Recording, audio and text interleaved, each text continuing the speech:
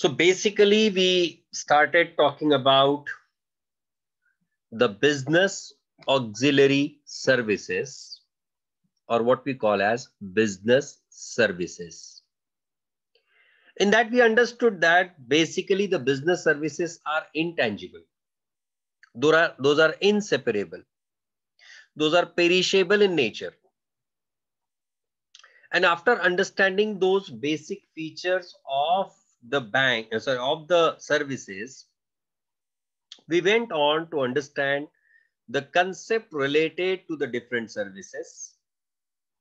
And within that, the prime most service that we have to understand now is the banking service. In this banking service, we started talking about it that banks do provide the loans they provide the funding to the organizations they basically mobilize the savings from the individuals to the people who need the funds. Today we'll talk about the types of banks and we will also talk about the different functions of banks as you already know, as we all are already aware of, our major focus is only on revision part. We're not going to go into the details in the text again. We'll therefore be focusing only on the basics of everything. Of course, what I've done is when it comes to types of banks, I've tried to provide a basic detail of each type of bank. When it comes to the uh, kind of uh, types of functions. I've covered the just the basic functions the headings of it. How those functions are provided what those functions are that all we are going to talk about. We are going to discuss. We are not going to read through again and again. Of course when the writing practice of this particular topic will start at that time it will be more clear for you. As far as the insurance is concerned within insurance the basic terms related to insurance we are going to talk about. We're going to talk about the different uh, principles of insurance. And we'll also be talking about the different types of insurances maybe in the form of life insurance maybe in the form of the marine insurance or fire insurance. And then when we'll go into the warehousing we'll talk about the features of warehousing. We'll talk about the various types of warehouses so these are the various things that we are going to talk about mind well my dear friends we are already aware of this is one of the most important chapter and that's why we are giving the stress good enough on that. Let me come on now to the types of banks. Basically, the banks categorized or core category of banks is the commercial banks, the banks that you and me know on a day-to-day -day basis, the boom, the bob, the boy, Boom, Bob, boy, what is it? Bank of Maharashtra, Bank of Baroda, Bank of India, हमारे पूर्वजों की bank, ICICI Bank. These all are basically the commercial banks. Central bank, of course, we are talking about only RBI. In our country, the federal bank of our country is RBI. So central bank is not central bank of India central bank here that I'm talking about is the Reserve Bank of India, the, the bank which is the banker of every bank, the core bank, right? Which does not deal with you and me. Shaktikant Das, you don't go to Shaktikant Das, sir, हमको 50 crore का loan चाहिए. Can you please provide me the fund? Oh, uh, Sapna cannot go to Shaktikanta Das and tell him that you are doing this, you are doing that, you are doing this, and you are doing that. मेरे को एक करोड़ रुपए दो ना. Right? सपना आपको याद है ना हाँ the cooperative banks basically the banks which are incorporated for the benefits of the members of that cooperative society that is nothing but the cooperative banks or the cooperative societies which are basically having the uh, license to carry out the banking activities of lending the money and accepting the deposits development banks which are having the core activity of providing the development facilities into the areas of need as per the government, maybe in the form of NABARD, SIDBI or kind of organizations. Those are nothing but what we call as the development bank. Exchange banks, earlier these were separately required, but nowadays exchange work is done by the commercial banks also. But these exchange banks not only deal with the exchanging of currency, but they also deal into the foreign transactions and how those foreign transactions to be taken place.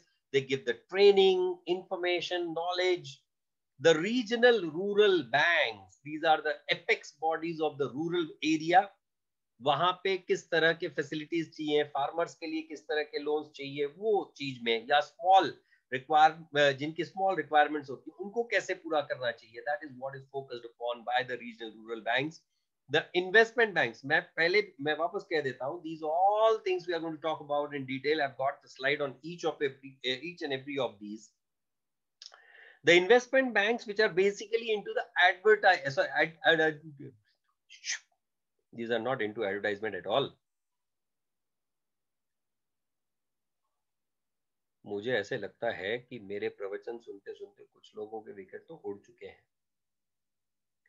और वो लोग सोच रहे होंगे कि ये master यार जिस जिस मोमेंट में स्टार्ट किया है ना इसने, ये अब रुकने वाला नहीं है। इजंट इट ऐसी ही फीलिंग होगी तुमको, मेरे को लग रहा है। स्लिप ऑफ़ टंग हुआ और मैं थोड़ा सा रुक गया इसलिए।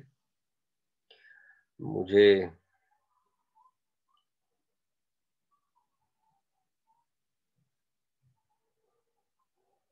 नहीं उड़े ओके खैर, तुमने अभी तक के वो रेडबुल भी नहीं पिया ना? तो तुम उड़ोगे कैसे?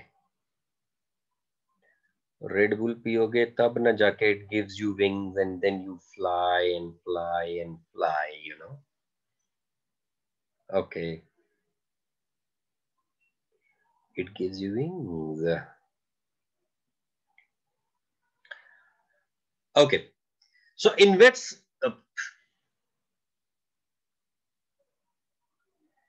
investment banks are basically into the advisories. They do not do advising. They did, they, they, they, what is happening? I don't know. They do the advisory services wherein they do not deal with money. They don't accept the deposits. They don't give the loans, but they try to arrange the loans for you they try to do the uh, advisory to you that whether you should be doing this particular business or not whether you should carrying out that business activity or not. That's what the investment banks are. The specialized banks which are basically constructed erected or established for the purpose of benefits of the specific requirements. Here in fact i can give you the example of SIDBI and NABARD etc then the small finance and the payment bank, which is the recent kind of thing, has come into fore. Earlier, this concept of small finance and payments bank was not there for last three years. We have been observing that there are certain organizations called as small finance banks and the uh, the payment bank. Let's first talk about the central banks. The central banks are basically the apex institutions for banking in our country. These organize this organization, as we call it as RBI, the Reserve Bank of India, that does not deal with the common customers or the individual customers that deal with basically the banks. They don't deal with the corporates also. No individuals, no corporates. They deal with the banks. They try to make the policies. They try to make the uh, kind of strategies of how the monetary situation will pan out in our country. That is what basically is done by the RBI the Reserve Bank of India. The functions of the Reserve Bank of India basically it frames the monetary policy for us like you must be observing every three months the governor of RBI come onto the television set. You must not be observing that because you are focused more on the Netflix or Amazon Prime or Z5 or Sony Live or MX Player and what not. कोई रह गया क्या मैंने सारे बात कर लिए और Apple TV Whatever whatever it may be. So, you must not be seeing this. Telegram Telegram पे तुम वीडियोस देखते हो? ऐसे कौन से वीडियो देखता है? ओम खांडे तू Telegram Disney Hotstar Alt Balaji Pogo यार मतलब सच में ये लोगों को कोई छोड़ के आओ यार। ये लोग यहाँ बैठे क्यों हैं? टेलीग्राम पे सब मिलता है। स्नेहा, तू ऐसा क्या देखती है टेलीग्राम पे? जो तू ऐसा बोल रही है टेलीग्राम पे सब मिलता है। लाइक आई डाउट मेरे को ऊपर आना पड़ेगा अभी, ऐसा लगता है। सीरियसली हाँ। अच्छा वेब सीरीज़ की बात कर रही थी? ओ अरे, जय जाड़े, सोनी, सब मतलब एसयूबी नहीं है एस बी है। ओके ठीक है ठीक है ठीक है ठीक है। हाँ। The first RBI Act was made in 1934 and the second one and the next one was made in the 1945 and that's why I'm talking about 1945, right? So in India, we have Reserve Bank of India. Functions of it are, it frames the monetary policy. Now Shaktikanta Das would come and, Athar, tera kya question rahe gaya?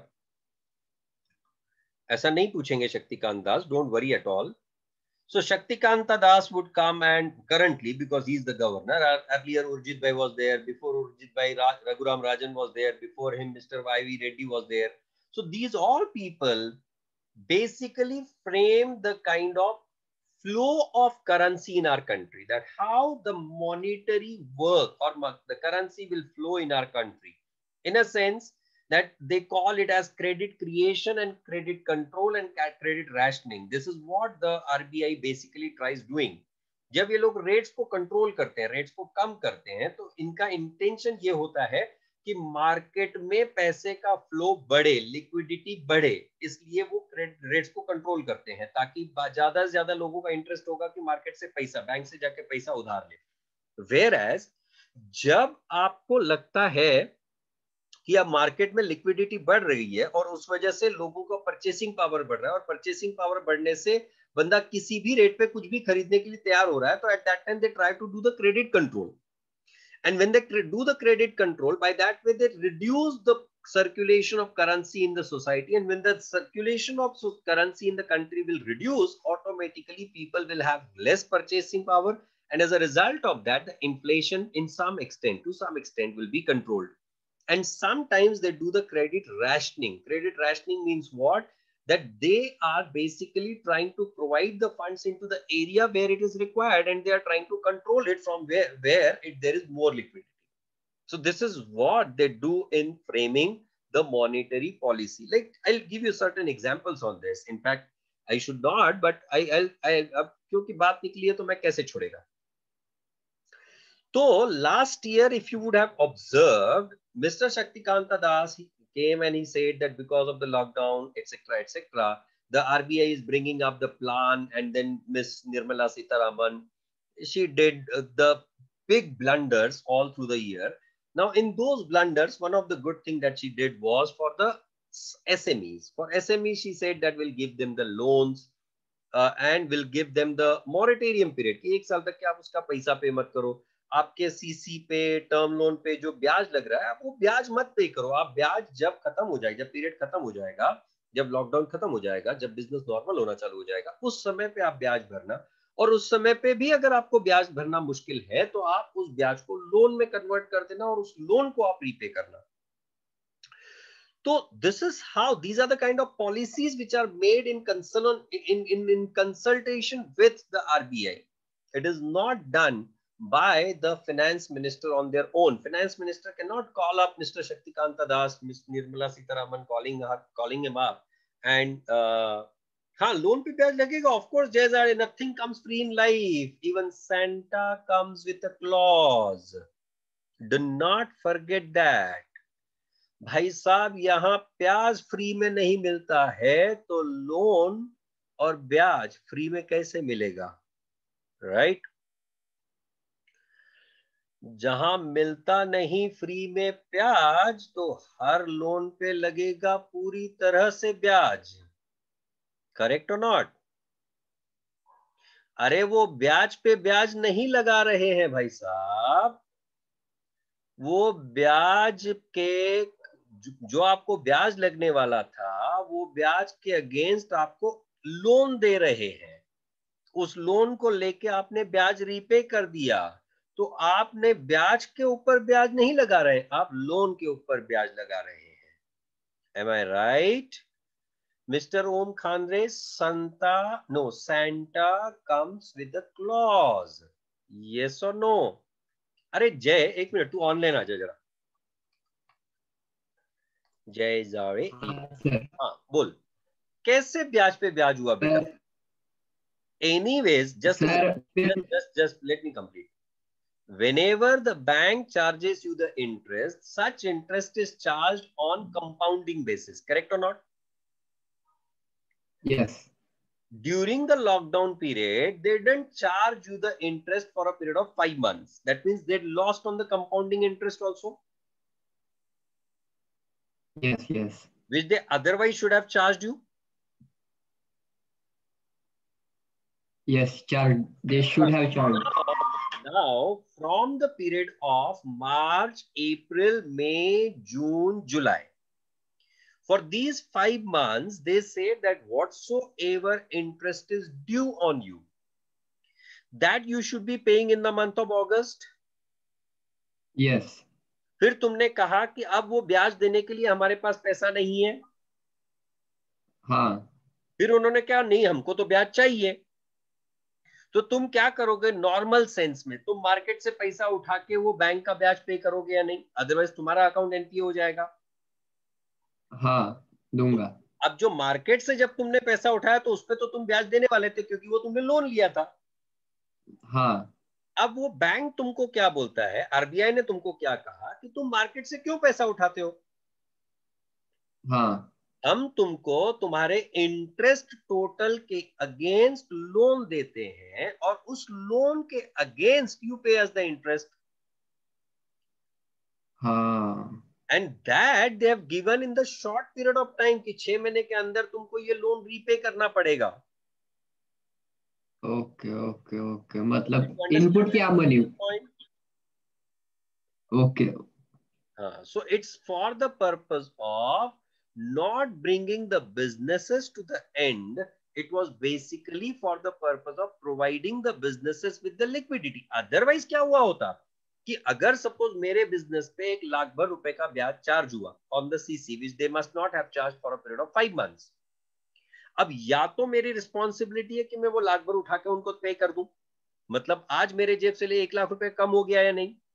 हाँ तो instead of reducing that one lakh rupees from my pocket they said ये एक लाख रुपए आप ब्याज दो और इस लाख की लिक्विडिटी आप कंटिन्यू करो। अदरवाइज़ एनी वो पाँच महीने में बीस बीस हज़ार रुपए तो मुझे देने पड़ते ही ना। हाँ हाँ। वो भी तो मेरी ही रिस्पॉन्सिबिलिटी थी ना। हाँ। You understand it now yes sir now this is how they do the credit rationing you know this is how they carry out the activities I hope you understood the point They, नहीं थोड़ा सा ना क्या होता है ना attitude approach और thinking इसमें जब बदल आता है तो अपने आप हमको हर चीज़ अलग तरीके से समझने लगती है। You must have heard of this earlier एक कई सारे लोग इसके बारे में बहुत ज़्यादा निगेटिव बात कर रहे हैं। कई सारे लोग कहते हैं कि क्या फ़ायदा हुआ कि गवर्नमेंट ने हमको वो पाँच महीने तक मॉरिटेरियम दिया वो पाँच महीने तक हमसे ईएमआई नहीं लिए वो पाँच महीने के बाद तो हमको ईएमआई e लागू हो, अरे वो पाँच महीने का जो तुम्हारा ब्याज था, वो तो तुम एनी पे करना ही होता ना तुमको। इंटरेस्ट पे इंटरेस्ट तो अमूल्य हमेशा पे करना पड़ेगा तुमको। When so ever you have not paid your dues on time on that also they have charge the interest और not the banks never work on simple interest basis. The banks always work on compounded interest basis. The only thing that they did in the monetary policy, the RBI, what they did was they, instead of reducing the liquidity from your hand, they kept that liquidity within your hand. क्योंकि अगर market में पैसा रहेगा तो पैसा घूमेगा पैसा घूमेगा तो बिज़नेस चलेगा बिज़नेस चलेगा तो और पैसा बनेगा। और जब और पैसा बनेगा तो गवर्नमेंट को भी तो रेवेन्यू मिलेगा ना।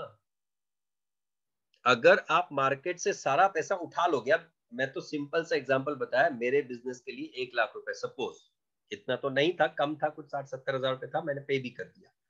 द पॉइंट इज़ वॉट कि अगर सपोज़ मेरे जैसे small and medium enterprises in India were only only I am saying two lakh बहुत ही बेसिक एग्जांपल देता हूँ।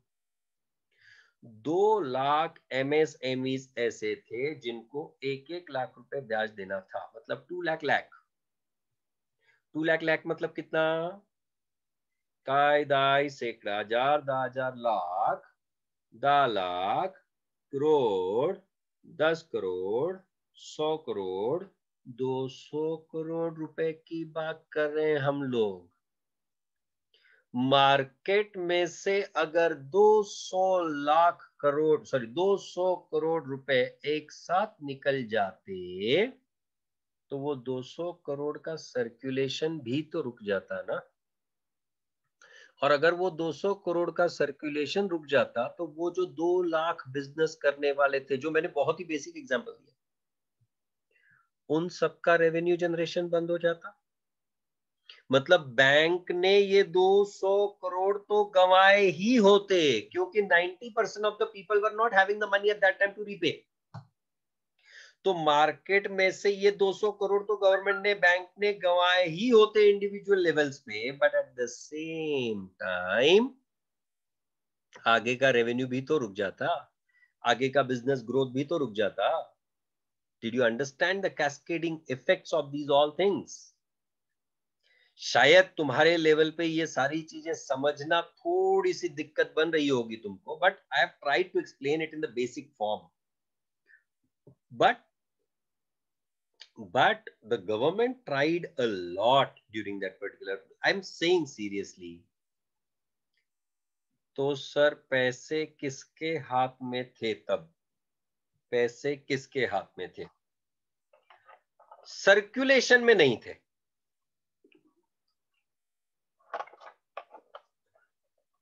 सिंपल सी बात है ये चर्चा मैं बहुत ज़्यादा डिटेल में कर सकता हूँ but try to I try to avoid it to एक शॉर्ट में निपटाता हूँ ये। मैं तुमको पढ़ा रहा हूँ। करेक्ट अब सपोज़ एक स्टूडेंट था, जिसने मेरे पास एडमिशन लेनी थी। उसने देखा कि लॉकडाउन लगा हुआ है तो मेरे को आगे मेरे बेसिक नीड्स के लिए, खर्च के लिए पैसा लग सकता है तो उसने मेरे पास क्लास नहीं लगाई। मेरा पचास हज़ार रुपए का नुकसान हुआ। नुकसान हुआ इन सेंस वो रेवेन्यू मेरे लिए जनरेट नहीं हुआ।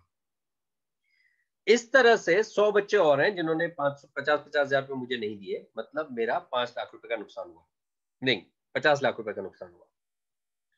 अब क्योंकि मेरा पचास लाख का रेवेन्यू जनरेट नहीं हुआ तो मैं जो खर्च करने वाला था, मैंने वो अवॉइड किया। उसी तरह से मैं जिसको वो पैसा देने वाला था, उसने वो अवॉइड किया। उसी तरह से उसने जो सैलरीज देनी थी, जो बड़ा बिज़नेस था, उसने जो सैलरीज देनी थी, उसमें कट किया। और वो सैलरीज कट होने की वजह से जो मेरा स्टूडेंट था, जिसको वो, जिसके पेरेंट को वो सैलरी मिलने वाली थी, उसकी इनकम कम हो गई तो उसके हाथ में पचास हज़ार रुपये रह गए। मतलब ये क्या हुआ? कि अगर ये पचास हज़ार रुपए मार्केट में घूमता, मेरा इनकम बढ़ता, मेरी इनकम की वजह से मैं जिन बिजनेसेस से एसोसिएटेड हूँ, उनका इनकम बढ़ता, उनकी वजह से वो जिनके साथ एसोसिएटेड है, उनका इनकम बढ़ता, और उनकी वजह से जिनको सैलरीज मिल रही थी, जिनको इनकम मिल रही थी, उनका इनकम स्टेबल रहता। तो सर्कुलेशन में जब पैसा होता है तो एवरीवन पैसा सर्कुलेशन में होता है, पैसा किसी के पास कभी नहीं होता है। हमेशा याद रखना। If you are keeping the money static you are trying to वो जैम को, वो जो traffic jam control you you are trying to block you are trying to block the whole system but when you allow the money to flow yes sarthak absolutely. Money grows with, when it flows. That's the correct statement. तो जब वो circulation में होता है तो अपने आप बढ़ते रहता है। Did you understand it mister Jay Jade now हाँ। थोड़ा सा मतलब क्या है ना ऑड डिस्कशन था। The other people were getting bored कि ये मतलब क्या चल क्या रहा है इनके दोनों के बीच में। But this is this is the fact this is how you are suppose GST क्या द थिंग्स नहीं समझा आकाश पार्थ? हाँ। तो कैसा होता है ना कि तुम लोग you do not think the think of the things from the micro point of view when you when you are talking about the monetary policy when you are talking about the अब currency note simple example currency note अब currency note छापना currency note छापना ये RBI के लिए कितनी बड़ी बात है इन्होंने जाके उठाया वो फ़ोन किया मिंटिंग हाउस में यार वो पच, पचास पचास के नए नोट छाप के भेज दो मार्केट में। It's as simple as that for them to say but from the perspective of the actual currency minting there has to be the understanding that market में एक्चुअल रिक्वायरमेंट है कितना? हमारा फ़िज़िकल डेफिसिट कितना है? हमको भरपाई कितने की करनी है? क्यों? करेंसी किस बेसिस पे छापा जाता है? करेंसी छापने का बहुत सिंपल से अगर basic understanding point of view से समझाऊं तो government plans for its expenditure first कि हम लोग साल भर में कितना खर्चा करेंगे। ये लोग कभी इनकम का प्लानिंग पहले नहीं करते ये पहला खर्चे का प्लान करते निर्मला सीतारमन मैडम ने ज़्यादा नहीं एक इस साल में बजट बनाया कुछ 24 लाख करोड़ रुपए का कि इस साल में मैं पैसा सिर्फ़ 24 लाख करोड़ रुपए उड़ाएगी मार्केट में उड़ाएगी in a sense that I'll be carrying out the infra projects, I'll be carrying out this, I'll be carrying out that, defense के लिए इतना, agri के लिए इतना, education के लिए इतना, exact, etc. etc. 24 lakh crore रुपए का बजट काय का? एक्सपेंडिचर का, खर्चे का। हमारे यहाँ रिवर्स सिचुएशन होती है। हमारे घरों में जो होती है ना रिवर्स सिचुएशन होती है। हम लोग क्या करते हैं? मेरे पास कितना पैसा आने वाला है, उसके हिसाब से मैं प्लान करता है कि मैं कितना खर्चा करेगा। Right government never does that a government economics में ये सारी चीज़ें सुन ली होगी, तुमने मुझे पता है। इकोनॉमिक्स हो गया तुम लोग का।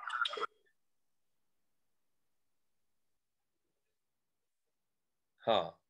तो वहाँ मतलब वहाँ तुमने बहुत ज़्यादा टेक्निकली डिटेल में सीखा रहेगा। I am just trying to precisely mention about it तो गवर्नमेंट कितना खर्चा करेगी, ये पहला प्लान करेगी। और उसके बाद में प्लान करेगी कि ये पैसा आएगा किधर से। तो सबसे पहले हमारी जो सीतारामन मैडम, अभी जो फाइनेंस मिनिस्टर होता है, वो वो ना, वो शेर बन के बैठा होता है, या गिद्ध होता है, गिद्ध।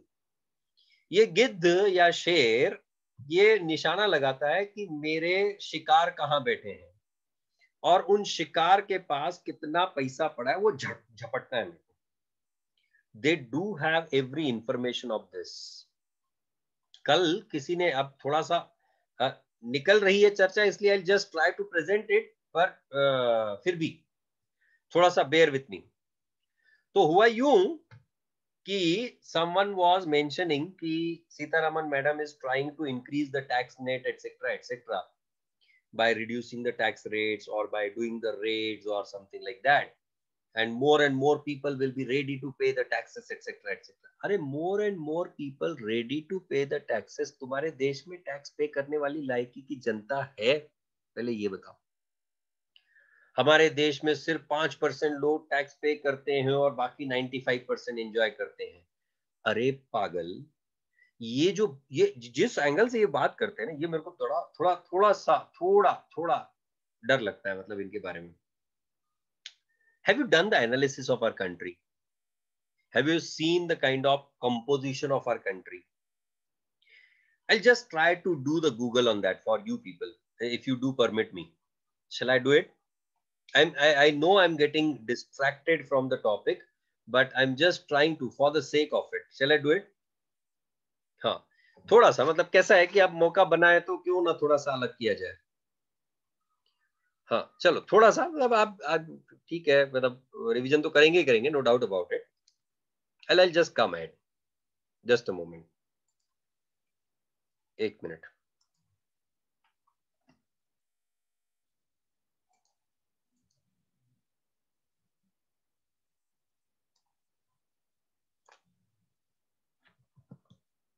I'll just share the screen and we'll do it in front of you only. India's population composition by age. हे छान आहे बरोबर आहे सेजल पण काय होतं ना की ते शेवटी ते जे एक्झाम मध्ये लिहायचं असतं ना ते बुक मधलंच असतं तिथं गणत बाग काय नाही uh, where can I get that detail? Yes, census will give the proper detail, you know, on that probably. We'll, we'll just try to. This is 2011. Oh my God. 2011 is too early for us, right? We are in 2021. Population composition. ये तो chapter है. हाँ. Here it is. ये 2011 का है. इसके basis पे थोड़ा सा हम लोग एनालिसिस करने की कोशिश करेंगे right are able to see this हाँ तो ये अगर तुम पॉपुलेशन का एनालिसिस करो what is it? Percentage distribution of population by broad age groups to total population by sex and residence in India, 2011. I will consider that same kind of broad-based working we are doing. 60 and above. 60 and above is how much? Out of the total 60 plus is 8%, right? And below 14, that is 0 to 14, is 29.5. कैसे 9 9 18 18 10 25 हाँ बराबर 29.5 and 8 that is 37.5 percent of our total population I would consider is before earning situation, after earning situation. Actually हमको थोड़ा सा और detail मिलना चाहिए था यहाँ पे 18 अबाव होना चाहिए था. Uh, 18 18 का डिस्ट्रीब्यूशन नहीं है यहाँ पे 15 है चलो will consider that will divide that into four parts 15 to 60 जो है थ्री पार्ट्स में डिवाइड करेंगे तो एक पार्ट हम लोग उसमें से निकाल देंगे बाद में तो we have the total population which is in the age group of 62 sorry 15 to 59 to the extent of 62.5 right and out of that how much is in rural I just try to check it तो rural का composition दिया हुआ है। Total to rural का composition नहीं है। I just check whether it is available total to rural का composition it is there this one is there हाँ. टोटल टू रूरल का कॉम्पोजिशन भी है हमारे पास. What is this? India and bigger states. 0 to 4 to total population by 6 नहीं, चलो ठीक है. 62.5 is the population between what 15 to 59 correct अब अगर मैं ऐसा डिवाइड करूँ कि मेरा एज ऑफ़ अर्निंग स्टार्ट होता है टिपिकली 18 से राइट right? एक्चुअली होता है 21 से है if I do it like this 62.5 divide by 59 I'm sorry 45 मैं कैलकुलेटर ढूँढने की कोशिश कर रहा हूँ और मोबाइल जिंदाबाद। So it is 62.5 divide by 45 into चार चार एज 15 16 17 18 इतना छोड़ दिया मैंने राइट? सो इनटू फोर्टी मतलब बच्ची पॉपुलेशन आपकी फिफ्टी फाइव परसेंट जो किस एज ग्रुप में है? अर्निंग एज ग्रुप में। इस अर्निंग एज ग्रुप में से my dear friends the working population is only thirty percent मतलब ये कि 55.5 में से 30 percent that is 16.67 percent of the total population is the earning population and out of that my क्यों मैं क्यों मैं मैंने ऐसा कहा दैट टोटल में से इतना अर्निंग पॉपुलेशन है क्योंकि हाँ रुको आता हूँ आता हूँ फार्मर्स पे भी आता हूँ। क्यों ऐसा कहा मैंने? क्योंकि इसमें आपके पास ऐसे लोग हैं जिनको अर्निंग भी नहीं होती है ऐसे लोग हैं जो डिपेंडेंट हैं they all are excluded that's why thirty percent population ये थर्टी परसेंट पॉपुलेशन जो आपकी है इसमें से रिक्शा वाला ठेला वाला टपरी वाला why we divided by 45 अरे पागल 15 to 59 is 45 only or not? Age group मैंने इवनली डिस्ट्रीब्यूट किया ना कि सारे लोग इसी एज ग्रुप में हैं मतलब हर एज ग्रुप पे इक्वली डिवाइड किया मैंने।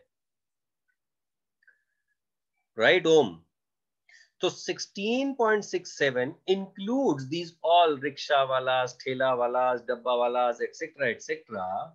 And they are earning. It's an earning population, but their earning is below the taxable limit, and that counts to around 80% of it. How much? 80% of it. So remaining is only divide by 0.8 into 0.2, 3.33 percent. अरे भाई इतने लोग तो पहले से tax दे रहे हैं आपको। और कहा से जनरेट करोगे क्या? चाइना से इंपोर्ट करवा के तुम टैक्स भरवाओगे।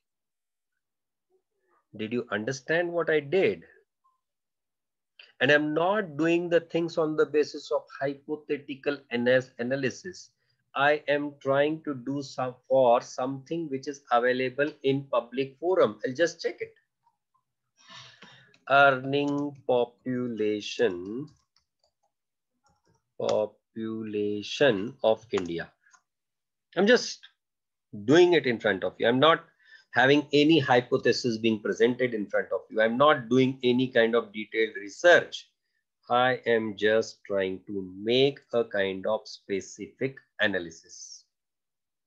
तो आप ये सोचना कि हमारे देश की पाँच परसेंट जनता टैक्स भरती है और बाकी उसका यूटिलाइजेशन करती है ये तो तुम्हारी रिस्पॉन्सिबिलिटी है भाई क्योंकि you have been you have been you have been pay you have been earning because of that you have been earning because of that you have to pay the tax on that Is, is that right for everyone? What if they remove all taxes and have only 1% tax on each and every transaction? Mind well, Mr. Sarthak. Talking something like this is so simple. I'm seriously saying this. What you have been saying what you have been saying is absolutely correct to talk about, but mind well, will the population in general allow you to do that? Will a person who is plying the rickshaw will be saying कि ठीक है, तुम मुझसे tax one percent tax अरे भाई, यहाँ जिनको हक, जिनकी रिस्पॉन्सिबिलिटी है, उनसे जब दो परसेंट पाँच परसेंट एक्स्ट्रा टैक्स मांगा जाता है So they revolt on that. And you know the political system of our country. कि सब पे अगर तुम टैक्स लगाओगे तो हमारा वोट बैंक चला जाएगा it it's ironical it's ironical, but mind well, my dear friends. Yes, in our country, we have the progressive taxation system. I do remember Mr. Rajiv Gandhi, when he was the prime minister of our country, wherever he would go and make the uh, kind of public speeches, at that time, his standard, standard kind of speech would include that हमारे देश में गरीबी बढ़ती जा रही है, हमको इसलिए इस गरीबी को मिटाना होगा right and if that would have been the current scenario if the if you would have made these kind of statements in the current scenario he must have been trolled for that saying हमारे देश में गरीबी बढ़ती जा रही है, इसलिए हमको गरीबों को हटाना पड़ेगा। अरे, गरीबों को हटाना क्या इतना आसान है? या गरीबी हटाना इतना आसान होता तो सिचुएशन बहुत अलग होती well anyways fine so let me come ahead let it be I'll, I'll just take a five minutes ka pause and uh, continue I'll just finish my dinner thoda sa jo so we'll talk about the functions which are performed by the uh, central bank basically have the functions to frame these monetary policies what we were just talking about. Issuance of currency notes whenever there is a fiscal deficit after getting uh, the funds in the form of loans from the international organizations or issuing the government public depository notes they can also issue the currency notes based on the requirement it is basically the banker to the government. A banker to the government in a sense that they are providing all kind of banking facilities to the government. Government को जहाँ भी infrastructure के लिए cost लगता है, खर्च लगता है, government के जो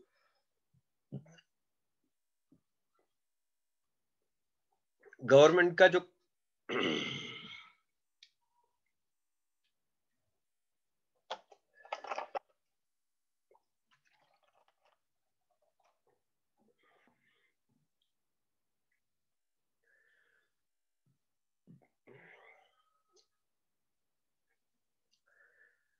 गवर्नमेंट के जो कलेक्शंस होते हैं those those collections are again done by the RBI through its subsidiary that is State Bank and all that.